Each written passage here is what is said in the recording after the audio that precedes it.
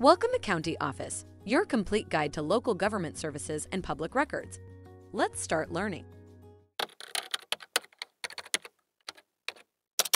Is unclaimed property a trap? Unclaimed property is not a trap, but rather a safeguard against lost assets. It includes forgotten bank accounts, uncashed checks, and abandoned safe deposit boxes.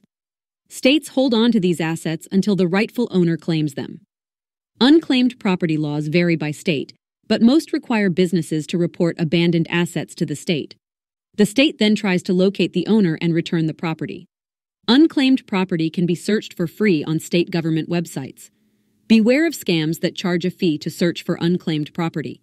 Always use trusted sources to search for unclaimed property. Take a look at the links in the description below to learn more. If you have any questions or want to share your thoughts, leave a comment. We're here to help. Thanks for watching our video. Be sure to like, subscribe, and leave a comment below. We'll see you in our next video.